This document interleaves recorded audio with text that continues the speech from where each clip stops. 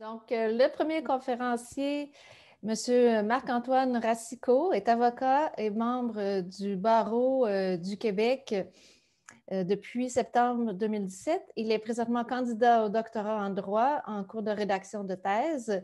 Ses champs d'intérêt sont le droit national et international de l'environnement, le régime climatique international, la protection des milieux humides et de la biodiversité ainsi que le développement durable. Il est gradué d'un MBA euh, de l'Université de Sherbrooke en 2015. Il a obtenu une maîtrise euh, en droit à l'Université Laval en 2019 et il est motivé pour agir concrètement pour la protection de l'environnement. Il siège sur le conseil d'administration de l'Association des biologistes du Québec, participe au comité juridique du Centre québécois du droit de l'environnement et également, il est chercheur associé au Centre de la science de la biodiversité du Québec. Le titre de sa communication aujourd'hui sera Comment assurer un développement durable au Canada sans perte nette de milieux humides, une étude comparative des réglementations fédérales et provinciales. Donc, j'invite M. Racicot à nous présenter sa conférence.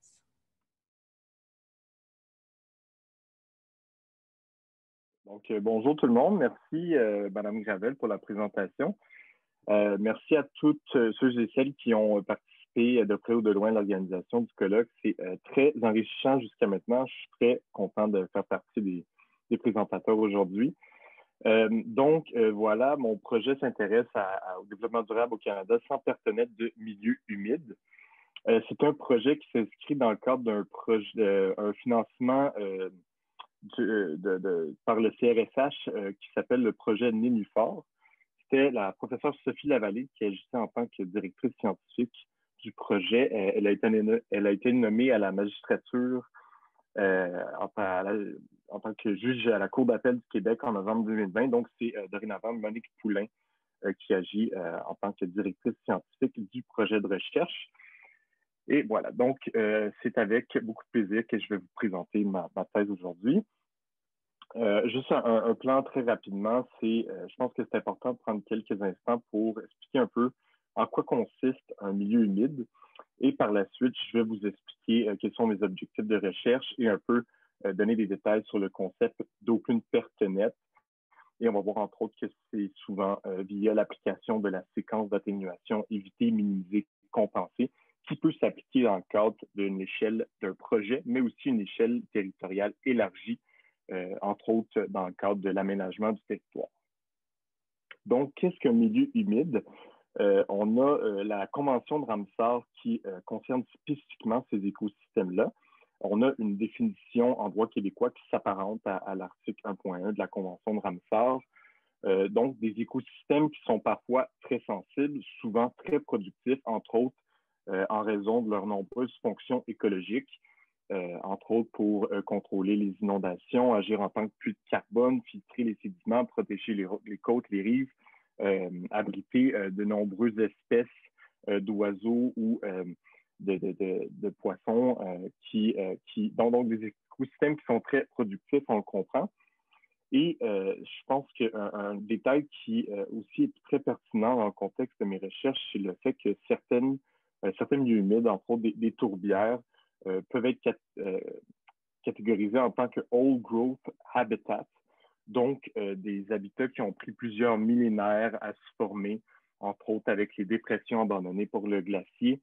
Et c'est important de le mentionner, entre autres, dans un contexte de restauration écologique où on peut comprendre que c'est très difficile de reconstituer ces habitats-là qui ont pris plusieurs millénaires à se créer et euh, mon mention spéciale au niveau euh, du Canada qui euh, regroupe 25% de la totalité des ressources en milieu humide de la planète. Donc, voilà, maintenant qu'on comprend un peu plus ce qu'est un milieu humide, ma thèse va porter donc sur le droit de la conservation des milieux humides au Canada. Je vais entre autres m'attarder à six juridictions, cinq provinces et le gouvernement fédéral. on voulait avoir une représentation représentativité géographique. Donc, euh, vous voyez un peu euh, les, provinces qui ont été choisies. Euh, et donc, c'est important de le dire, la, séquence d'atténuation, souvent, peut, s'appliquer dans le cadre du droit de l'environnement lorsqu'on autorise préalablement les projets avec des autorisations environnementales, mais aussi dans le cadre plus large de l'aménagement du territoire. On va y revenir.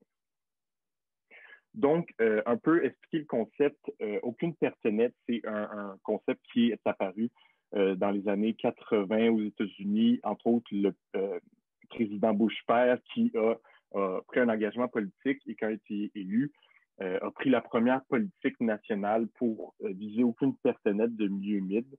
ça s'inscrit dans un courant de durabilité forte, c'est-à-dire de conception forte du développement durable où euh, on essaie de trouver un équilibre entre les différents enjeux sociaux, environnementaux et économiques. Euh, qu'est-ce qu'on veut dire par aucune perte nette? C'est cette idée d'avoir un, bilan neutre entre les pertes écologiques autorisées et les gains écologiques produits par les euh, mesures compensatoires. On a cette même logique de substitution quand on pense souvent à la neutralité carbone. Donc, hier, on parlait beaucoup de transition écologique, énergétique. donc, souvent, on compense les émissions de GES entre autres dans les taxants ou dans le cadre d'un marché du carbone. Donc, on a cette même logique-là qui se retrouve une, cette fois-ci appliquée à des écosystèmes, les milieux humides, et on va chercher à avoir un, bilan neutre à la fois euh, à la fin de, ce processus-là d'autorisation environnementale. Rapidement, trois dimensions euh, qui vont nous permettre d'un peu plus comprendre concrètement comment s'applique l'objectif d'aucune pertenette la portée matérielle, donc qui va, est-ce que l'aucune pertenette vise euh, plus précisément les fonctions écologiques ou simplement la superficie des milieux humides. Euh, quant à la portée spatiale, on peut comprendre que euh, l'aucune pertenette peut s'appliquer à une échelle géographique circonscrite pour un projet spécifique ou des limites administratives, que ce soit au Québec, des municipalités régionales de comté, ou encore des limites écologiques comme les bassins versants et finalement la portée temporelle de l'aucune pertinente. Donc, à quel moment on veut euh, atteindre cet objectif-là et comparer avec quel scénario de référence?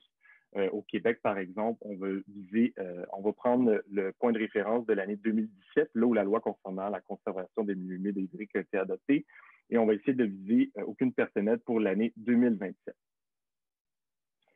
Donc, je l'ai dit, entre autres, l'objectif d'aucune pertinente euh, va, s'appliquer, va se mettre en œuvre dans le cadre de l'application de la séquence d'atténuation, aussi du séquence ERC, éviter, réduire et compenser. Donc, ces trois étapes qui, en théorie, sont euh, égales euh, et qui devraient être respectées dans cet ordre-là spécifiquement. Donc, c'est-à-dire qu'on évite en premier tous les impacts possibles ceux qui ne sont pas évités, euh, on va adopter des mesures de réduction pour essayer de réduire la durée ou l'intensité des impacts. Et en dernier recours, seulement en théorie encore, on devrait compenser euh, les pertes résiduelles inévitables. Il faut savoir qu'en pratique, c'est euh, cette phase de compensation-là qui est largement surutilisée et surétudiée aussi dans la littérature scientifique. donc, c'est un peu le, le cœur de la problématique d'essayer de trouver un meilleur équilibre entre ces trois étapes-là. Euh, donc, euh, des, notions qui sont très claires dans la littérature, mais qui, ne le, sont, beaucoup moins dans le droit positif. Et euh, donc, généralement, on va trouver cette séquence-là appliquée dans le cadre de la délivrance des autorisations préalables. Donc, prochaine diapositive un peu chargée. Évidemment, c'est une thèse en droit. donc, je n'ai pas pu m'empêcher de citer mes sources juridiques et je voulais un peu vous donner un aperçu euh, des différentes politiques où on retrouve, euh, lois ou politiques où on retrouve l'objectif d'aucune personne nette. Mention spéciale au Québec où euh, on a la, seule province qui a reconnu spécifiquement l'aucune personne nette dans ses lois et non dans des stratégies ou des politiques qui ont des valeurs non contraignantes. je voulais aussi vous mentionner un peu les, les, différents endroits où on trouve l'application de la séquence d'atténuation dans le cadre de l'autorisation préalable des projets. Euh, donc, encore une fois, on voit aussi que toutes les provinces étudiées euh, appliquent la séquence souvent lorsqu'il y a des activités qui peuvent euh, avoir un effet sur les milieux humides, mais aussi toutes les ressources en eau en général. donc voilà, je passerai rapidement sur ce tableau-là, mais c'est un peu le tableau un peu plus juridique pour ma, thèse. Donc, je l'ai dit, c'est une séquence d'atténuation qui requiert plusieurs étapes donc, en premier lieu, en théorie, on devrait éviter ensuite prendre des mesures de réduction et ultimement des mesures de compensation spécifiquement pour les impacts résiduels. Et c'est après le, constater l'effet de ces mesures compensatoires-là qu'on va pouvoir évaluer si aucune perte nette est véritablement atteinte. Plusieurs étapes sont impliquées, également plusieurs acteurs. Donc, on a au Québec, par exemple, le promoteur qui doit, entre autres, euh, justifier son projet, expliquer un peu euh, pourquoi on a choisi spécifiquement ce site-là, euh, expliquer pourquoi, est-ce qu'il y a des solutions de rechange qui existent et pourquoi, au final, le projet qui est proposé est la meilleure solution retenue après avoir considéré différents emplacements, différentes modalités techniques, différents moments de le faire dans le temps. donc, au Québec, le promoteur est responsable de l'application des phases d'évitement et de réduction et c'est le l'autorité administrative, c'est-à-dire le ministre de l'Environnement, par le biais de ses fonctionnaires, qui va euh, évaluer si les modalités des phases d'évitement de réduction sont bien appliquées par le promoteur et va accepter une compensation financière pour ultimement euh, élaborer un programme de restauration euh, et de création de milieux humides et hydriques. On a d'autres juridictions où on va avoir un, promoteur qui doit également concevoir des mesures compensatoires pour, et c'est lui qui est responsable de les mettre en œuvre. Euh, d'autres euh, d'autres euh, acteurs sont impliqués dans l'application de la séquence, entre autres les consultants, souvent des biologistes qui viennent caractériser la superficie, la délimitation, les fonctions écologiques des milieux humides. Et le public aussi a joué un rôle dans le cadre de l'application, entre autres lorsqu'on a des audiences publiques de prévues. Et le juge administratif, finalement, qui lui aussi peut contrôler l'application des mesures ERC. On a entre autres une décision qui a été rendue le 1er mars 2021 et qui concerne justement l'application de la séquence en droit québécois. Donc, c'est aussi plusieurs acteurs. ici, j'ai mis une image qui vise un peu à expliquer quelles sont les limites euh, d'une approche un peu euh, dans le cadre de l'application de la séquence d'atténuation, dans le cadre des autorisations préalables, c'est-à-dire qu'on a une approche qui est dite projet par projet où on comprend un peu que c'est une échelle géographique qui est spécifique au projet où on essaie de comprendre l'application des phases d'évitement, mais de réduction dans le cadre de cette échelle géographique-là prédéfinie, limitée. Euh, donc, entre autres, plus de difficultés de considérer les impacts cumulatifs, mais aussi euh, les impacts euh, positifs des mesures compensatoires dans le cadre d'un paysage socio-écologique, donc d'un territoire élargi. Euh, donc voilà, un, champ d'application restreint aussi. Les autorisations préalables souvent nécessitent l'atteinte de, seuils pour dans le cadre d'un tri préliminaire, pour qu'effectivement il y ait des études d'impact qui soient obligatoirement soumises au ministère de l'Environnement. Il y a aussi des codes d'exemption, des impacts non réglementés, des impacts illégaux. Donc, tout ça, ça fait partie du, de, ça sort du cadre du champ d'application de la séquence d'atténuation dans le cadre des études d'impact. Donc, ça fait partie des limites de cette approche qu'on dit projet par projet ou qu'une approche qui est dite plus réactive. Donc, dans, le sens où on a euh, des projets qui sont proposés au gouvernement, le projet, le gouvernement les évalue et essaie de concevoir des mesures d'évitement, de réduction, de compensation dans le cadre des projets qui lui sont proposés. Euh, donc voilà, on, a compris aussi que c'est le recours excessif à la compensation financière ou la compensation en nature. Donc plusieurs euh, problèmes qui se manifestent. Et le propre de ma thèse, c'est d'expliquer un peu comment le droit pourrait permettre un peu de rééquilibrer la phase, la séquence d'atténuation en, ayant une logique plus proactive, plus stratégique et ça passe, entre autres, en élargissant le champ d'application de la séquence d'atténuation à une échelle territoriale élargie, entre autres en euh, insérant la séquence dans le cadre du droit d'aménagement du territoire. Ce que ça pourrait faire, premièrement, c'est de renforcer la phase d'évitement, donc un évitement qui est dit à grande échelle où on peut euh, tout simplement identifier les, les, milieux qui sont trop sensibles ou très euh, productif. Donc, les, endroits qu'on pourrait désigner comme étant inconstructibles. Et euh, la géologique proactive pourrait permettre aussi de compenser moins et mieux et donc de tenir compte euh, de la faisabilité technique de la compensation pour s'en tenir à, pour comprendre les possibilités et les limites d'une, des, des, sciences que sont par exemple l'ingénierie écologique ou l'écologie de la restauration et un peu de dire qu'on fait de la compensation qui est satisfaisante. Donc voilà une figure qui reprend cette idée-là de dire qu'une une approche projet par projet est limitée dans son application de la séquence et qu'une approche plus territoriale, plus stratégique, pourrait permettre une meilleure gestion des impacts cumulatifs. un tableau où euh, j'essaie de reprendre essentiellement les principaux avantages d'élargir le champ d'application de la séquence d'atténuation. Donc, de dire qu'au niveau de la spatialisation des pertes et des gains, encore une fois, c'est plus facile d'identifier à l'échelle d'un paysage euh, quels sont les sites qu'on veut éviter à tout prix, que ce soit parce qu'ils sont trop sensibles ou euh, parce qu'ils sont très productifs. Et de la même façon, on peut identifier les sites de compensation où on, peut avoir un potentiel de restauration euh, plus grand que les autres et, entre autres, évaluer euh, l'enjeu de l'accès au foncier pour ces sites de compensation-là. Euh, si on est capable de faire ça, c'est aussi parce qu'on va pouvoir gérer plus facilement les pertes qui sont dites intermédiaires. Donc, entre le moment où on autorise le projet et où on a des gains écologiques, le retour des fonctions écologiques, des milieux humides perdus, il y a un time lag. Et si on est capable d'avoir une, gestion plus proactive, on est capable de gérer euh, ce décalage temporel-là dû au fait entre le, temps qui passe entre l'autorisation et euh, les, gains écologiques qui sont produits par les mesures compensatoires.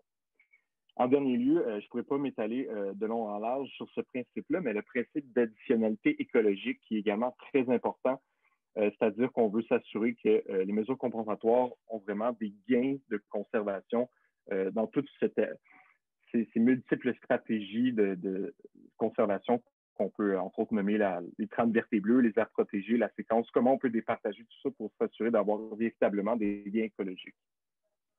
Donc voilà, encore une fois, une diapositive un peu chargée, mais c'est pour euh, vous montrer que dans les juridictions étudiées, on retrouve cette idée-là de, la séquence d'atténuation à l'échelle du territoire. Donc, dans le droit de l'aménagement du territoire, euh, on va essayer d'avoir des, euh, différents outils qui vont reprendre ces idées-là. Si je prends encore une fois l'exemple du Québec, euh, certains d'entre vous le savent peut-être que pour juin 2022, on a des plans régionaux sur les milieux humides hydriques qui sont développés par les MRC, les municipalités régionales de comté, et qui doivent être déposés au plus tard en juin 2022 au ministère de l'Environnement. Plusieurs points positifs sont à, vérifier dans ces plans régionaux-là, entre autres parce qu'on priorise les sites à conserver. On va cibler les milieux qui ont un bon potentiel de restauration. Donc, euh, beaucoup de positifs qui risquent de ressortir de ces plans régionaux-là. Mais encore là, on a des craintes au niveau de la mise en œuvre de ces plans-là qui, entre autres, va se, faire dans le cadre de l'aménagement du territoire, donc avec les schémas d'aménagement et de développement des MRC, les différents règlements d'urbanisme des municipalités, mais aussi euh, de dire qu'on euh, risque d'avoir une séquence d'atténuation qui s'applique seulement à la biodiversité exceptionnelle. Donc, les milieux humides, oui, qui sont très productifs, on va les protéger, en effet.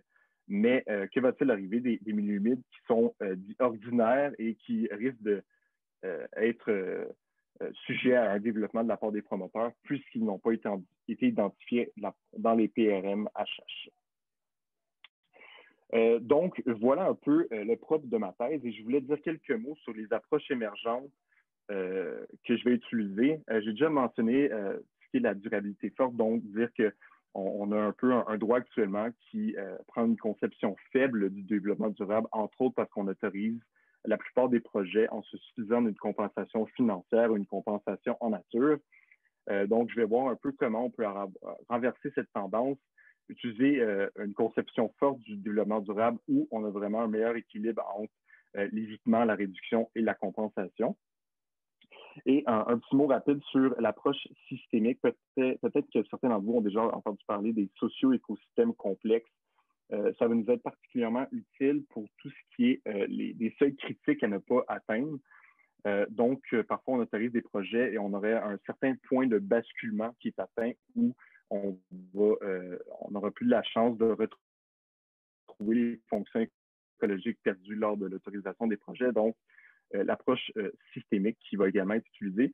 il y a d'autres approches émergentes que je ne pourrais, pourrais pas expliquer plus longuement, mais c'est également de dire qu'on a une méthode critique qui va essayer de reprendre les différents enjeux juridiques et en faire une série d'analyses que je vais appliquer dans les différentes juridictions étudiées. Donc voilà, ça fait le tour de mon projet de thèse. Euh, j'ai mis quelques références si le sujet vous intéresse. Et je vous remercie beaucoup de votre écoute aujourd'hui et j'espère, je suis toujours disponible pour répondre à vos questions si vous en avez. Merci. Merci beaucoup, Marc-Antoine. Oui, sûrement qu'il y aura plusieurs questions. Déjà, je vois de beaux liens qui ont été faits entre le droit, la géographie, l'aménagement du territoire. Donc, euh, on aura sûrement de belles réflexions euh, qui vont suivre. Merci. Le prochain conférencier est M. Raymond Cabot, qui est étudiant au doctorat en sciences géographiques à l'Université Laval. Il possède un Master 2 en écosystème environnement à l'Université Gaston Berger de Saint-Louis au Sénégal et un Master 1 en géomatique et conduite de projet à l'Université d'Avignon euh, et enfin un Master 2 en structure et dynamique spatiale euh, en hydrologie. Ses intérêts de recherche sont particulièrement dirigés vers l'étude des risques hydrométéorologiques et les changements climatiques. Et je dois dire qu'il s'implique aussi, il est administrateur euh, du regroupement des géographes du Québec. Donc, on va maintenant entendre sa présentation qui s'intitule les méthodes mixtes pour faire évoluer nos connaissances des risques environnementaux. À vous, Monsieur Cabot. Euh, merci Nathalie de m'avoir présenté. Euh, moi, ma présentation va plus porter sur une réflexion méthodologique que je, je commence à mener depuis, depuis le début de ma thèse sur les méthodes mixtes, leur usage pour faire évoluer nos connaissances des risques environnementaux. Quand je parle de, risques environnementaux, je parle plus des risques hydrométéorologiques comme les inondations et les sécheresses, ou bien les pénuries en eau. Donc, quelques éléments de contexte rapidement. En fait, on sait que voilà, nos objets euh, d'études environnementaux deviennent de plus en plus complexes. Euh, cela est dû à une pluralité de facteurs et dont l'un qui est le plus important est les, usages, comment dirais-je, humains qu'on fait de, des ressources qui rendent de plus en plus complexes ces objets d'étude. Et donc, la solution pour essayer de comprendre ces objets complexes et une des solutions prometteuses est de s'inscrire dans une démarche d'interdisciplinarité. Et l'interdisciplinarité, en fait, nous permet de dépasser euh, nos limites épistémologiques euh, euh, de nos disciplines d'appartenance et d'aller co-construire une réponse à une question euh, qui n'est pas traitée ou traitable par notre, par notre discipline d'appartenance. Donc, elle permet aussi d'utiliser plusieurs styles de raisonnement scientifique, un style statistique, probabiliste, euh, style mathématique, style historique peut-être, euh, style sociologique, plusieurs styles en fait, et des méthodes, plusieurs méthodes. donc, dont je connais les deux, deux euh, la méthode quantitative et la méthode qualitative qu'on peut associer pour essayer de comprendre ces objets complexes.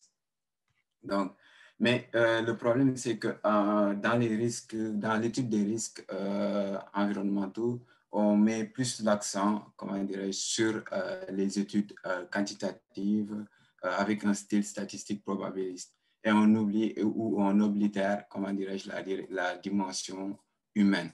Alors que la dimension humaine euh, participe à co-construire le risque. Donc, quand, je parle de dimension humaine, je parle plus de la perception du risque social ou bien euh, comment les gens perçoivent ce risque même. Euh, je fais souvent l'analogie en donnant un exemple plus, plus, plus récent avec la crise de COVID-19, qui est un risque sanitaire mais qui peut être, euh, qui donne un exemple euh, sur les risques hydrométéorologiques. Quand on dit, quand je dis que voilà, les prévisions statistiques n'ont pas pu prévoir l'évolution du système sanitaire vers la criticité, il aurait fallu, avant la crise, préparer, sensibiliser les personnes, euh, les populations au danger Covid, ce qui aurait permis, en cas de crise, de rendre acceptable ce risque, moins de décès et un confinement moins prolongé. Et peut-être même que avec ça, on aurait pu aller boire un verre après le, colloque. mais continuons. En fait, euh, mais comment prendre en, considération cette, euh, cette dimension subjective euh, de la perception sociale du risque dans des études purement statistiques?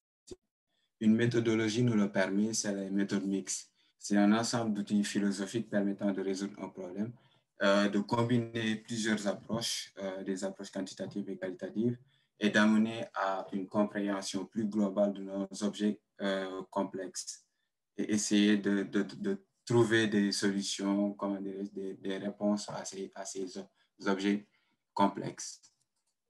Donc, ces méthodes mixtes nous permettent d'utiliser plusieurs designs. Le design, le premier design est le design de triangulation, où nous pouvons avoir euh, des données quantitatives et des données qualitatives sur un même sujet qui nous permettent en fait de mieux comprendre notre, notre objet complexe euh, ou bien notre euh, phénomène d'étude et de pouvoir le caractériser.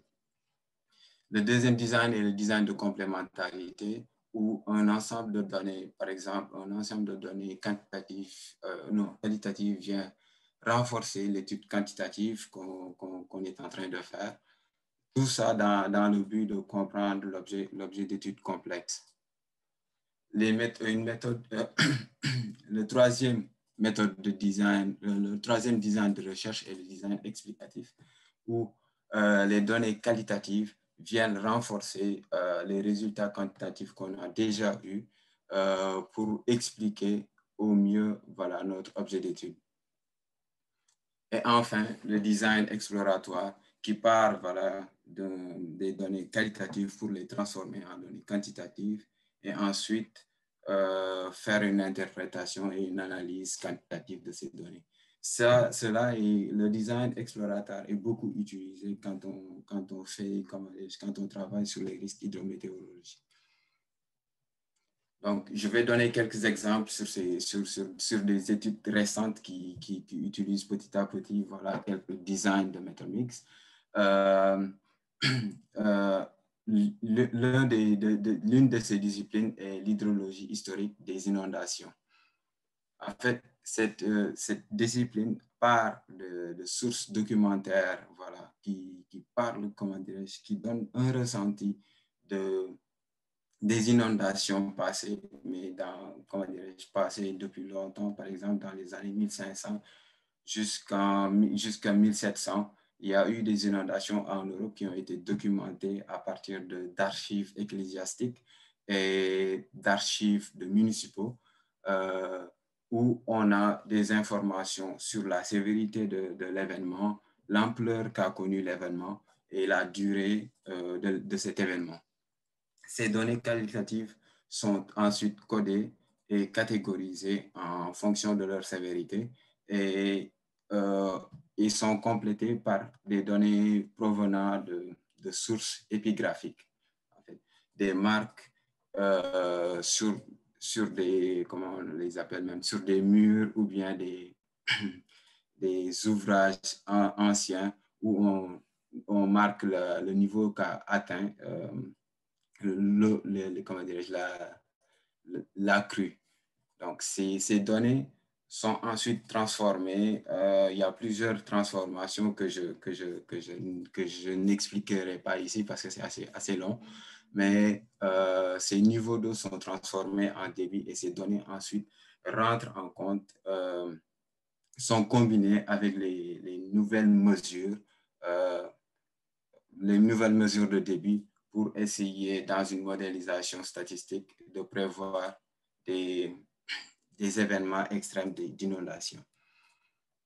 Donc, euh, ces méthodes mixtes peuvent nous permettre aussi de mesurer la perception et, aller, euh, et nous permettre de gérer le risque hydrométéorologique des inondations. Une des, des disciplines aussi très récentes qui étudie ça est la socio-hydrologie.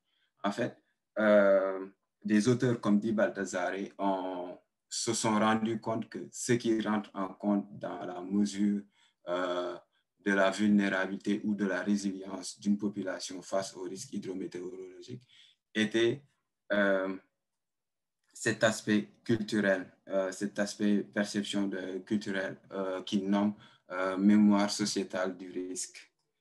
En fait, en prenant en compte dans cette étude statistique sur la récurrence des événements hydrologiques extrêmes, euh, euh, la perception de la population, on arrive quand même à avoir une connaissance un peu plus large, comment euh, sur ce risque hydrométéorologique qui peut nous permettre ensuite de le gérer. Nous avons aussi de nouvelles, de nouveaux, de, de nouvelles études sur la science citoyenne qui essaient à partir de questionnaires ou bien de, de simulations de crise, de jeux de données, euh, sur les populations, de mesurer la préparation des populations face aux risques hydrométéorologiques et leur sensibilité face aux risques hydrométéorologiques. Toutes ces données combinées ensemble permettent d'avoir une connaissance vaste du risque hydrométéorologique. Nous avons aussi le crowdsourcing et les big data. Les big data euh, par exemple, ici, l'étude de Forenger, ils utilisent le réseau social Twitter euh, et font de l'analyse de sentiments. Ils analysent voilà, l'étude euh, mise en, en, œuvre pendant un événement d'inondation et les codes et les catégorisent pour les transformer selon un design exploratoire en données euh, quantitatives et analysées quantitativement. L'autre risque hydrométéorologique sur lequel je voulais parler, c'est les phénomènes extrêmes de faible débit ou bien les risques euh, de pénurie en eau. On sait que sur, euh, pour ces phénomènes, euh, les endroits où ces phénomènes sont plus récurrents, il y a un manque criard de données parce que ce sont des données, parce que ce sont des phénomènes intermittents. Donc, c'est difficile de les, de les mesurer à, comment dire, sur un temps long il y a une discontinuité des mesures. Ce que euh, Gaillard et comment Al ont fait, c'est qu'ils se sont basés sur les débits euh, pour distinguer six états écologiques, six états aquatiques, en fait, ont, sur lesquels ils ont fait des graphes et fait, euh, comment dire, calculer les fréquences. Sauf que cette cette, euh, comment on appelle ça, euh, cette caractérisation du risque de, cette caractérisation du régime hydrologique, euh, il, fallait, il fallait comment valider cette caractérisation du risque hydrométéorologique. Pour le valider, ils se sont basés sur des questionnaires qu'ils ont fait administrer aux populations vivant proches des risques, comment proches des rivières temporaires. Et ils, ils, sont parvenus à proposer une, comment un, un, graphe de fréquence des états aquatiques en se basant sur les questionnaires. le graphe de fréquence des états aquatiques euh, défini à partir des débits et ensuite combiné ou bien triangulé euh, avec celui fait sur les questionnaires pour voir s'il y a une con convergence ou s'ils infirment leurs hypothèses ou pas. Voilà. Et moi, à la fin, je l'utilise aussi, ces méthodes mixtes pour, euh, pour ma thèse. En fait, je caractérise un état hydrologique extrême qui est la sec euh, en le définissant euh, selon une approche quantitative statistique en, utilisant des approches fréquentielles sur lesquelles je définis des indicateurs d'offre et de demande de l'eau et je fournis des seuils ces seuils me permettent en fait de, de distinguer euh, la situation de mon état, la situation de mon système hydrologique en un instant T euh, comme étant normal, critique, surcritique ou supercritique. Et de l'autre côté, j'essaie de voir la perception de la population du risque, comment pénurie en eau ou à sec, en étudiant, en proposant des indicateurs de préparation et des indicateurs de sensibilité face aux pénuries en eau.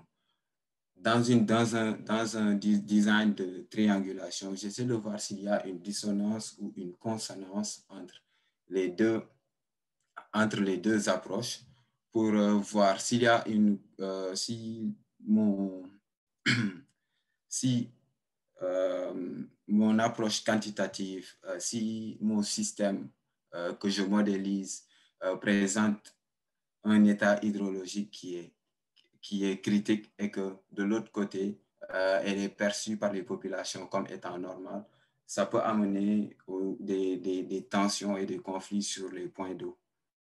Et de l'autre côté, inversement, ça mettrait en, en situation des, des situations de gaspillage d'eau. Et donc, pour finir, je dirais que les méthodes mixtes permettent de concilier deux traditions de recherche, problématiques, de traiter des problématiques complexes sur les risques hydrométéorologiques, de permettre l'interdisciplinarité dans les études, produire de l'information sur un ensemble de données, etc. Et ce sont aussi des méthodes à promouvoir malgré leurs exigences en termes de ressources. Et donc, pour finir, voici une bibliographie. Et s'il y a certains que ça intéresse, ils peuvent toujours m'écrire à, mon courriel. Merci beaucoup.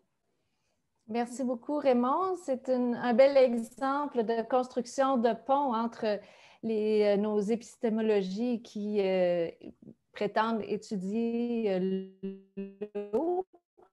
Donc, on pourra avoir des de plus amples discussions à ce sujet. Ça peut nous aider aussi concevoir la gouvernance de différentes manières parce que c'est souvent un défi à savoir euh, est-ce qu'on parle tous de la même gouvernance? Est-ce qu'on a tous euh, les mêmes a priori, le même vocabulaire quand on, parle de, gouvernance? Donc, ici, c'est une, une, réflexion qui est centrale là, pour faire en sorte que l'interdisciplinarité puisse euh, être vraiment euh, vécu et appliqué, ce qui n'est pas une chose facile. Donc, euh, merci beaucoup. On aura l'occasion sûrement de, revenir avec les questions. Je vais maintenant inviter la prochaine conférencière, Mme Lucie Bayon, qui est détentrice de doctorat en écotoxicologie en France. Elle a repris le chemin des études en 2019 à la maîtrise en aménagement du territoire à l'Université Laval dans le but d'aller chercher des compétences pratiques et innovantes dans la gestion de l'eau. Elle nous parlera aujourd'hui de sa recherche sur la gouvernance collaborative comme outil novateur de développement durable et d'adaptation au changement climatique, le cas de la gestion adaptée et intégrée du barrage du Grand Lac Saint-François. À vous, Madame Bayon. Je vais vous présenter en fait une partie de mes travaux euh, de maîtrise euh, qui se situe euh, donc euh, entre l'aménagement du territoire et un petit peu la, j'approche un petit peu le cadre juridique, hein, que, ma deuxième professeure, Catherine Choquette, qui est professeure en droit à l'université de, de, Sherbrooke. en fait, ma maîtrise s'inscrit dans les usages de l'eau et les conflits d'usage que ces usages peuvent apporter et dans un contexte de changement climatique, parce que euh, plusieurs usages, évidemment, plusieurs activités utilisent l'eau, l'agriculture, l'hydroélectricité, les domestiques, industriels ou les usages récréatifs. Et les changements climatiques pourraient exacerber euh, les types de, conflits euh, de conflits d'usage de l'eau. Donc, je me suis intéressée en fait au cas de trois lacs au bassin versant de la rivière Saint-François, en fait, ces trois lacs sont, les niveaux d'eau de ces lacs sont gérés euh, par trois barrages, en fait, un barrage par, par lac, évidemment. Euh, donc, ils sont d'immenses de, capacités. Donc, si par exemple, ils il s'effondraient pour des raisons, euh, pour des raisons matérielles, par exemple, ça pourrait être excessivement grave en termes de conséquences. les, barrages Julala, je me suis intéressée plus au barrage Julala, puisque c'est lui qui, le, qui, on va dire, gouverne euh, le, le, euh, il faut savoir aussi que le barrage lui donne en bas, euh, donc plus en aval, la propriété de la ville de Sherbrooke, puisqu'il fournit la majorité des citoyens de la ville en, en électricité. Donc, c'est un barrage essentiellement hydroélectrique. en termes de gestion du territoire, en fait, pour moi, c'était en fait une dynamique complexe puisque le bassin versant ne correspond pas au découpage administratif. Euh, donc, les, par la loi sur l'aménagement et l'urbanisme, doivent euh, gérer leur territoire circonscrit et euh, doivent l'inscrire dans un plan, dans un schéma d'aménagement et de développement.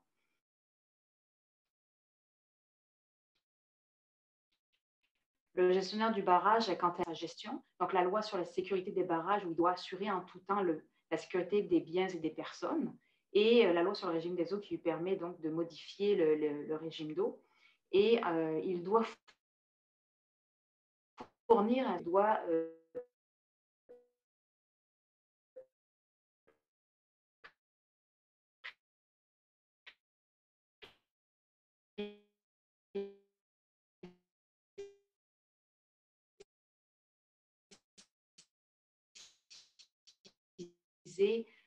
de faire une, demande officielle ne peut avoir accès au plan de gestion. Puis si le gestionnaire refuse de donner ce plan, euh, eh bien, on ne peut pas, l'avoir.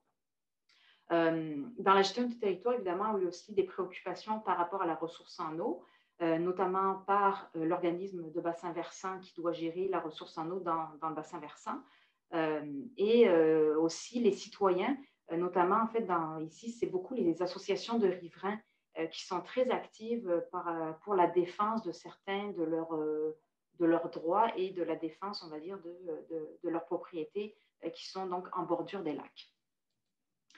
donc, dans, en termes de question de recherche, en fait, je me suis posé la question, c'est comment les préoccupations donc, climatiques et territoriales par la ressource peut-elle être arrivée au cadre de gestion du barrage? Donc, en d'autres termes, c'est comment se calculer compte des préoccupations territoriales et des changements climatiques?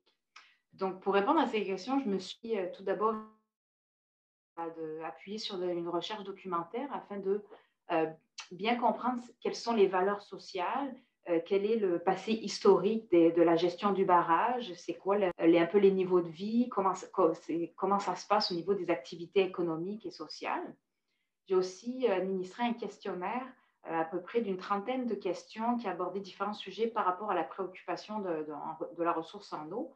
Et donc, j'ai fait ça par, par boule de neige, c'est-à-dire que chaque personne interrogée devait me donner plusieurs euh, personnes qui, donc un peu une recommandation afin de faciliter des fois les, échanges. Et enfin, avec l'aide de l'organisme de bassin versant, le COGESAF, on a cartographié euh, les différentes euh, préoccupations qu'on avait récoltées euh, par questionnaire.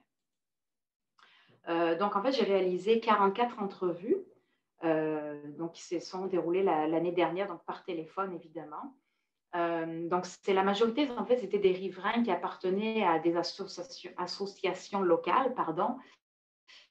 Il faut savoir aussi que ces personnes sont majoritairement en retrait et vivent depuis longtemps en fait en bordure des lacs, notamment au Grand Lac Saint-François. Euh, donc euh, ici, le Grand Lac Saint-François. Euh, donc les associations sont comme très actives. Beaucoup en fait se disent ah, tu, peux tu peux téléphoner à un tel, il est très au courant de telle problématique, etc. Donc à un moment donné, c'est vrai que je suis arrivée à une certaine saturation de, des, personnes à contacter. les MLO et les municipalités ont, ont été quand même très coopératives dans le sens coopératif, dans le sens où elles ont vraiment euh, voulu participer au questionnaire, euh, même si certaines avaient quelques réticences, qu'il y a quand même certains conflits qui persistent avec les années. Et les intervenants gouvernementaux se sont aussi, ont aussi joué, joué le jeu. quand je leur demandais, en fait, au niveau des, questions, en fait, quelles étaient les observations que les répondants observaient, donc, il y a eu principalement, en fait, des épisodes d'inondation, de l'érosion, euh, des questionnements par rapport à la qualité de l'eau, euh, qui beaucoup de personnes se, sont préoccupées de ça, euh, les impacts sur les écosystèmes, donc là c'était plus sur les espèces invasives et la perte des populations de poissons notamment, et beaucoup de personnes aussi à 65% avaient comme inquiétude la fluctuation importante des niveaux d'eau, c'est-à-dire que entre euh, l'hiver et l'été, même dans, l'été, il y avait beaucoup de fluctuations euh, du niveau d'eau et, parfois c'était euh, très, très difficile à gérer parce que souvent les quais en fait des riverains, parce que beaucoup utilisent les quais pour la navigation, il fallait tout le temps gérer. Donc c'est un peu de la, des fois de la chicane un petit peu à ce niveau-là sur, le, sur le territoire. quand je leur demandais de prioriser les problématiques, en fait, il y a eu quand même un certain consensus entre euh, euh, bon, les riverains, mais aussi euh, l'organisme de bassin versant qui a participé également. Donc, il y a la première, c'était la, qualité de l'eau. Ensuite, c'était l'impact sur les écosystèmes. En troisième position, il y avait les niveaux d'eau. Et coex l'érosion des berges et les épisodes d'inondation. dans le cadre de cette présentation, je me suis intéressée à ces, deux-là qui finalement sont un petit peu liés comme on va le voir. Euh, donc, 60% des, répondants euh, ont observé euh, des, inondations. Donc là, c'est particulièrement au Grand Lac Saint-François et au lac Elmer, donc le lac qui était en, deuxième position quand on va de, l'amont vers l'aval. donc, essentiellement, quand, on a cartographié par rapport au, au, questionnaire, en fait, c'est essentiellement les rives du côté est du Grand Lac Saint-François, du lac Elmer, et l'ensemble du lac Louise, ainsi que ici la, municipalité, donc en aval à, à qui est fortement sujette aux inondations année après année. Quand je leur demandais depuis quand ils avaient observé ces événements, en fait, pour le Grand Lac Saint-François, c'était quand même un petit peu partagé, mais il y avait une forte tendance à dire que c'était depuis les cinq dernières années, particulièrement en fait là au niveau des, des, rives à l'est. Et d'autres personnes disaient Ah, c'est depuis toujours, euh, il y en a toujours eu, c'est normal quand on, arrive, quand on habite au bord de l'eau, ça fait partie, ça fait partie de la vie, c'est ça de même. Euh, donc, euh, et c'est intéressant aussi de, voir que les répondants qui des inondations observaient également du même bord des fortes érosions et justement, cette même période, donc, disait il y a les inondations et l'érosion euh, qui, euh, qui sont accentuées depuis euh, les cinq dernières années. Quand je leur demandais ensuite quelles étaient pour eux les causes des inondations, donc, souvent on, parlait des embâcles de glace au printemps. donc, en fait, la montée des, des, glaces faisait que ça frappait les rives, donc ça, ça, ça l'eau sur les rives, ça les brisait en fait en même temps. Il y avait aussi les vents forts d'ouest, euh, notamment lors de la tempête euh, de, l'automne en 2019, si je ne si dis pas de bêtises. Donc, les forts vents avaient euh, donc formé des grosses vagues sur les lacs qui avaient frappé les rives et donc forcément amené l'eau plus loin, donc vers les habitations. et aussi, la gestion des barrages est quand même assez, pour beaucoup, mise en cause, dans le sens que notamment les, au Grand Lac Saint-François et au Lac Elma, beaucoup disaient qu'ils avaient le sentiment de payer le prix des inondations sur leur terrain euh, pour protéger des inondations en aval. Parce qu'en fait, le gestionnaire de barrage, qu'est-ce qu'il va faire? Il va monter les niveaux d'eau des lacs Elmer et du Grand Lac Saint-François pour emmagasiner l'eau pour éviter les inondations plus en aval, puisqu'il y a énormément d'habitations en zone inondable du côté de Whedon. Puis ces gens-là ont l'impression de, de payer le prix de ceux qui s'installent en zone inondable.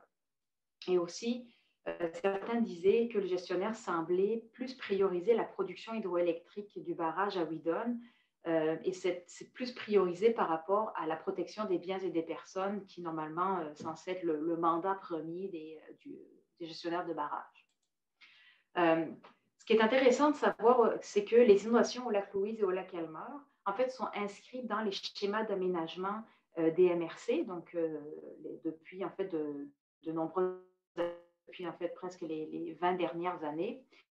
Et aussi, sont inscrits dans les plans, dans le plan de gestion du barrage du Lala. Donc, euh, lui, euh, oh là là, il reste une minute, on va, on va y aller rapidement. Euh, mais il faut savoir, ce qui est intéressant, c'est que le, dans les plans de barrage, la communale est de 290,18 mètres, qui est la limite des hautes eaux légales, et c'est la propriété de l'État.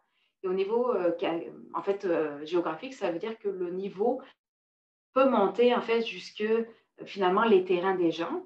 Euh, ici, c'est la limite. Et on voit qu'en 1980, ce niveau d'eau est effectivement monté. Euh, on voit en 1980 que, les niveaux d'eau à peu près étaient, étaient là. Et en 2018, la rénovation cadastrale a, a, relevé qu'il y avait des anomalies par rapport au cadastre. En fait, beaucoup de riverains finalement pensaient posséder 100% de leur terrain, alors qu'en fait, un tiers des terrains appartenaient à la propriété de l'État puisque ça correspondait à la limite des hautes eaux. Rapidement, euh, pour, l'érosion des rives, en fait, la loi sur la qualité de l'environnement, euh, la renaturalisation des rives pour les protéger contre l'érosion, c'est les municipalités qui doivent appliquer, euh, qui devraient appliquer en fait ce, règlement, mais il, y a vraiment un manque d'harmonisation entre les municipalités pour l'appliquer. Et on voit aussi hein, qu'il y a des érosions puisque les, les rives sont à nu. Et on voit qu'en 1939, c'est vraiment, euh, en fait, finalement, ce n'est pas euh, un phénomène qui est vraiment nouveau. Euh, donc, la gouvernance, en fait, quel, rôle elle pourrait jouer? Elle pourrait donc, en fait, permettre de contribuer aux acteurs à se parler, puisque beaucoup veulent plus de transparence pour mieux comprendre les choix de gestion. il faudra aussi, en fait, permettrait de co-construire les plans de gestion des barrages. Donc, dans les plans de gestion, prendre en compte les intégrations de facteurs internes, externes, pardon, qui des fois ne peuvent pas être anticipés au niveau sur le papier, sur les données qu'on peut avoir, et prendre en compte les éléments du plan de, directeur de l'eau du COGESAF. Et en fait, la gouvernance permettra aussi de gérer les risques résiduels, c'est-à-dire que ce que le le, gestionnaire de barrage n'est pas capable de prendre en compte de, que les autres pourraient en fait essayer de, de, prendre en compte, notamment dans l'harmonisation des politiques publiques et une prise de conscience des risques à vivre au bord de l'eau. Donc, pour finir, en fait, ça pourrait permettre d'initier un projet collectif donc, c'est une opportunité pour euh, interpeller les acteurs du territoire, puisqu'il y a plusieurs consensus sur les enjeux. Donc, ça permet en fait, de trouver un point commun pour améliorer euh, son environnement, euh, et donc mieux sensibiliser la réalité de chacun et avoir une meilleure résilience face au changement climatique. Je vais m'arrêter là. Je vous remercie beaucoup pour votre attention. Puis Merci beaucoup, Lucie. Euh, je suis euh, personnellement bien contente euh, que tu aies traité de la question de la gouvernance partagée. Et éventuellement, j'aimerais que, tout le monde se pose la question aussi de quelle gouvernance est-il question et quels sont les partenaires aussi qui, qui peuvent être demandés pour contribuer à la réflexion, à ce projet collectif. Donc, euh, gardez en tête euh, ces, questions et puis euh, nous, nous, y reviendrons. Donc, je vous présente le prochain conférencier, M. Alexis Bernard, qui est diplômé de l'Université Laval en génie chimique. Il possède une expérience en ingénierie des procédés. Il a réalisé cinq stages de formation pratique et il possède une année d'expérience pratique comme chargé de projet dans ce domaine. Et euh, il a décidé de réaliser une maîtrise en génie chimique dans le traitement des eaux afin de trouver des solutions concrètes à des problèmes d'aujourd'hui. Son projet porte sur la survie et la détection des virus dans les usines de traitement des eaux usées. Et il nous présente une communication aujourd'hui qui s'intitule Les pathogènes. À vous, euh, M. Bernard. Euh, bonjour à tous. Aujourd'hui, j'aimerais vous présenter l'essentiel de mon projet de recherche de maîtrise en génie chimique qui s'intéresse aux pathogènes dans le cycle de l'eau. Mais avant de rentrer dans les détails, j'aimerais vous parler de l'eau, la ressource la plus utilisée sur Terre. Nous venons tout juste de souligner la journée mondiale de l'eau et c'est un peu passé inaperçu à cause de la pandémie, ce qui est quand même dommage. Pourtant, l'eau est constamment demandée pour répondre à nos besoins, que ce soit comme transport, comme attrait touristique ou comme liquide à boire, l'eau est essentielle à la vie et à nos activités quotidiennes. Pourtant, elle est sensible à la pollution du transport maritime, à l'activité touristique, à la pollution plastique et à la pollution bactérienne. C'est donc à nous, ingénieurs de demain, de trouver une solution pour assurer la meilleure qualité de cette ressource, car le temps tourne. Du coup, moi, Alexis Bernard, avec ma maîtrise en génie chimique, dans le traitement des pathogènes, dans le traitement des usées, j'aimerais aider à protéger le public en m'intéressant aux pathogènes dans l'eau.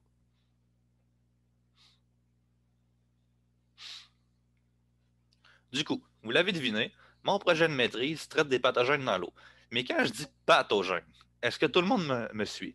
Attendez un peu, je vais clarifier un peu. Dans les eaux usées, il y a trois types de micro-organismes qui peuvent rendre malade. Il y a les parasites, comme les vers intestinaux, les bactéries, comme E. coli, et les virus, comme le tristement célèbre, le virus de la COVID-19.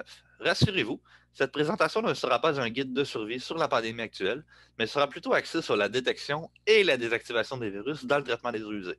Un parallèle peut être fait avec la détection du COVID dans les eaux usées, mais moi, je me limite pas seulement à un seul virus, mais plutôt à une panoplie de virus dans les eaux usées. Mais quand je dis eaux usées, est-ce que c'est clair pour tout le monde?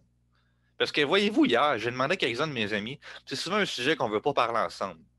Mais si, par contre, je vous demande qu'est-ce qui est arrivé à votre repas d'hier lorsque vous avez flashé la toilette ce matin, que pensez-vous répondre?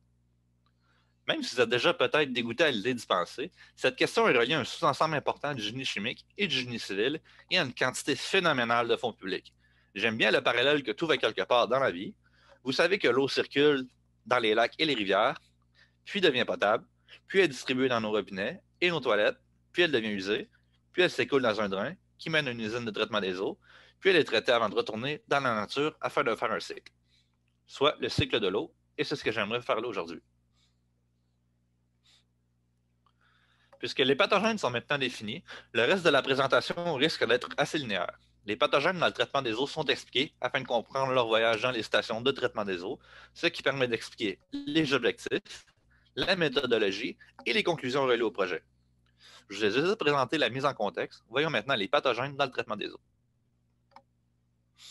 Une fois que les pathogènes ont franchi l'étape de la toilette, les canalisations d'égout redirigent le liquide vers les usines de traitement des eaux du Québec, qui comportent essentiellement deux étapes.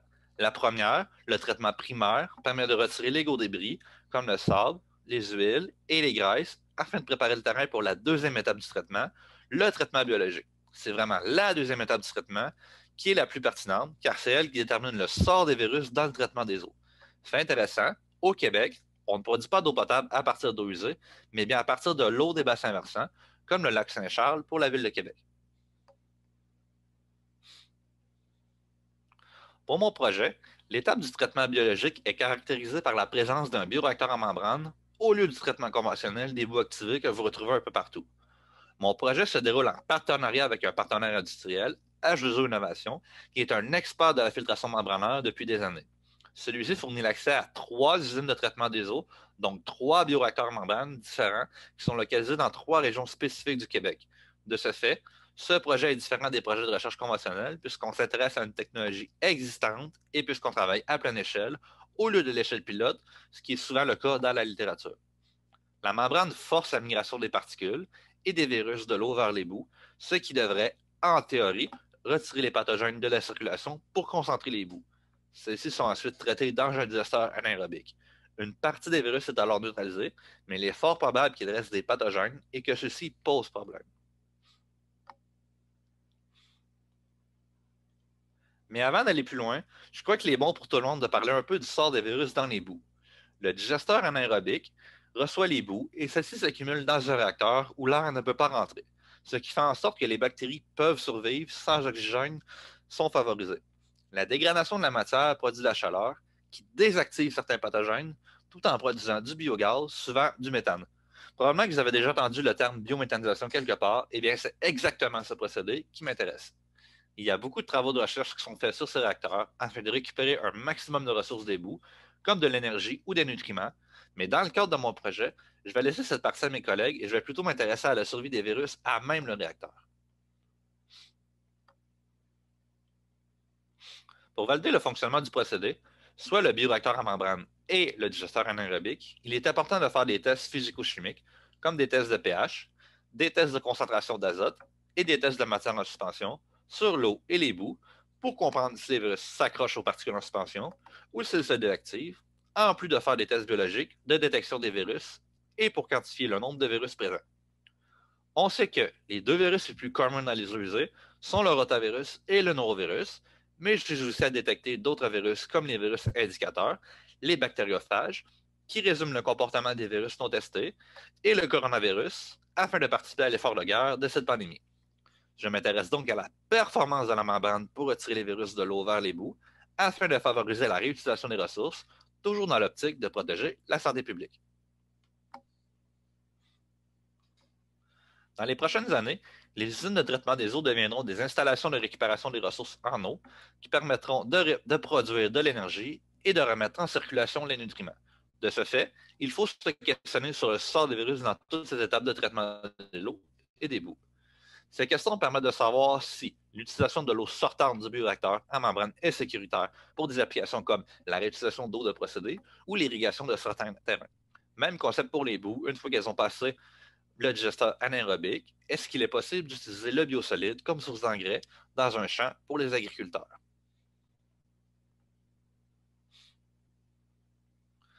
Maintenant, il faut savoir que mon projet comporte deux objectifs qui découlent de la problématique que je viens tout juste de vous expliquer. Le premier, il est quand même assez simple, il vous l'avez probablement déjà deviné. Il s'agit de faire l'étude du sort des virus dans les usines de traitement des eaux qui utilisent des bioréacteurs en membrane pour la réutilisation de l'eau et des digesteurs anaérobiques pour la réutilisation des bouts sous différentes conditions d'opération. Et quand je dis conditions d'opération, celles-ci seront discutées dans quelques minutes, mais pour l'instant, vous n'avez seulement qu'à retenir que pour l'eau, on veut tester différentes pressions sur la membrane et pour les bouts, on veut tester différentes températures et différentes configurations du digesteur pour trouver laquelle est la plus performante. Toujours en termes de retrait. Le deuxième objectif du projet est un peu plus complexe par contre. Il s'agit de faire l'étude de l'importance des tests d'intégrité de la membrane à même le bioréacteur et d'identifier les points de contrôle critiques du procédé et les limites pour assurer la santé publique. Je définirai plus tard l'application des tests d'intégrité. Pour l'instant, Il s'agit seulement de comprendre que je dois tester les limites de la membrane pour m'assurer que les virus sont toujours retirés. Pour réaliser mon projet, cinq étapes de recherche m'ont été proposées. il faut comprendre que j'ai commencé à l'automne passé, donc la revue littérature a été réalisée afin d'isoler les virus les plus communs des usées. Cette revue m'a aussi permis de comprendre les méthodes de détection, de concentration et d'extraction des virus à partir des eaux usées. Je suis présentement à l'activité 2, qui représente la campagne d'échantillonnage et les tests de laboratoire sur l'échantillon. Je vise à comprendre l'effet de la membrane sur les virus. Pour cela, j'ai prévu deux périodes d'échantillonnage, soit l'été et l'hiver, pour visualiser le comportement des virus durant différentes saisons. J'ai aussi fait l'analyse des plans de l'usine qui m'a révélé que les trois bioreacteurs sont différents les débits de traitement, les dimensions et le temps de résidence ne sont pas les mêmes. Pour contrer cela, trois points d'échantillonnage doivent donc être placés dans le bioréacteur, soit un avant la membrane, un après la membrane et un dans le digesteur.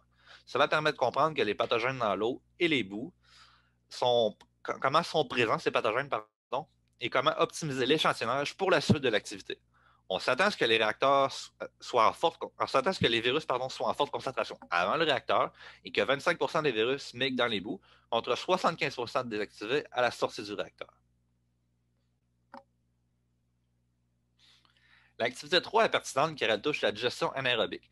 Notre laboratoire possède un digesteur qui permet de simuler, sans dilution et sans pompage, le comportement des bouts dans le digesteur industriel à l'échelle du laboratoire. Cela permet de tester différentes conditions d'opération, comme en continu, en semi-continu ou en ajoutant deux ou trois stages de digestion pour connaître l'effet des paramètres opérationnels sur la survie des virus. Avec ce setup, le digesteur produit en laboratoire est très similaire au digesteur des équipements industriels à pleine échelle. Il faut comprendre qu'en ce moment, les usines de H2O Innovation ne sont pas équipées de digesteurs anaérobiques. Donc, les bouts ne sont pas valorisés, mais nous aimerions faire autrement D'où l'importance de caractériser, les bouts dans l'activité 2 et ensuite de travailler avec celle-ci dans l'activité 3 pour que mon projet prenne place. L'activité 4 représente toute la partie mathématique du projet. Un bilan de masse permet de cerner ce qui est transféré par la membrane et ensuite l'efficacité est caractérisée par la valeur de retrait, le log removal value. Pour ceux qui n'ont pas fini avec ce concept, il s'agit du logarithme du ratio des concentrations à pathogènes avant et après une étape, comme la membrane. Un LRV de 1 signifie qu'on a 90% de retrait, un LRV de 2, 99% et un LRV de 3, 99,9% et ainsi de suite. Comprenez que c'est une échelle logarithmique. Donc, un LRV de 0.5 ne donne pas 50% de retrait, mais un LRV de 0 donne 0% Cela permet de relier les concentrations des virus à l'efficacité dans les différentes étapes de traitement des eaux. Je vais aussi à décrire mathématiquement la survie derrière les virus dans les différentes étapes du traitement avec justement le LRV, ce qui va me permettre de décrire mathématiquement la biologie derrière la désactivation. Finalement, l'activité 5 permet de combiner toute l'information des activités précédentes pour se prononcer sur la sécurité du procédé et identifier les points de contrôle critiques de la membrane. Pour cela, avec H2O Innovation, on réalise des tests d'intégrité de la membrane, soit des tests de pression qui déterminent la performance de la membrane en fonction du temps, ou des tests de fuite qui permettent de comprendre les limites du procédé. Cela permet de faire une analyse des risques de la membrane afin de comprendre l'influence sur le retrait des pathogènes et de cerner les plages opératoires de chaque membrane. En connaissant cela, il est possible de prédire quand la membrane est saturée ou quand elle fuit. Ces tests sont pertinents car on va pouvoir prédire un peu la qualité de l'eau. Et qui ne voudrait pas avoir le pouvoir de prédiction dans la vie? Mais je vous entends déjà dire, c'est bien beau toutes ces étapes, mais à quoi peut bien servir mon projet de recherche dans la vie de tous les jours? Eh bien, voyez-vous, il y a deux étapes, il y a deux types de résultats attendus, soit un résultat industriel et un résultat pour la santé publique, qui sont tous les deux basés sur le LRV et l'intégrité de la membrane. En premier, mon projet permet d'identifier les points de contrôle critiques du bioréacteur en membrane. Cela veut dire que les usines de H2O Innovation ou toute autre usine utilisant la technologie des bioréacteurs en membrane vont pouvoir savoir quand il est possible de faire recirculer l'eau et à quel moment la concentration des virus est acceptable pour assurer un bon retrait, donc un bon LRV. À l'opposé, le projet permet d'identifier les limites à respecter pour que la membrane assure un bon, un bon retrait des pathogènes. Les usines vont pouvoir savoir quand la pression, pardon, quelles sont les pressions respectées et quand est-ce qu'il est nécessaire d'envoyer des échantillons obligatoires pour analyse. Cela permet d'être toujours certain que les virus ne sont pas envoyés librement dans la nature pour ne pas contaminer quelqu'un. Du coup, même si le facteur de retrait LVR est trop bas, il faut, retraiter l'eau, mais si c'est trop élevé, tout le monde est content. Même concept avec les bouts, comme mentionné plus tôt, une des applications visées est de faire l'épandage du biosolides sur des terres agricoles, comme de l'engrais. En prouvant qu'il n'y a plus de pathogènes nuisibles, on peut rassurer les fermiers et on renvoie les nutriments présents dans les bouts vers la terre. En d'autres mots, mon projet de maîtrise en génie chimique est un projet collaboratif entre le milieu industriel et le milieu académique qui permet de valider le fonctionnement d'une technologie existante et qui permet de valoriser ce qui sort d'un procédé dans une optique de récupération des ressources. Le contexte pandémique actuel a favorisé l'importance de ce projet pour convaincre le public de la sécurité de nos procédés actuels et pour prouver que les virus, comme le coronavirus, sont bel et bien désactivés des eaux usées. Pour finir, ce que j'aimerais que vous reteniez de cette présentation, c'est que les pathogènes sont partout. Il suffit juste de trouver comment faire en sorte qu'ils ne soient pas nuisibles. Vous pouvez remercier les centaines d'usines de traitement des eaux qui font en sorte que vous n'avez pas à vous soucier des pathogènes dans l'eau. Et au niveau du thème du colloque, qui est de faire de la recherche autrement, je dirais que la recherche d'aujourd'hui vise à ouvrir de nouvelles portes sur la récupération et la valorisation des déchets dans un monde en pleine transformation énergétique où les ressources vont bientôt manquer.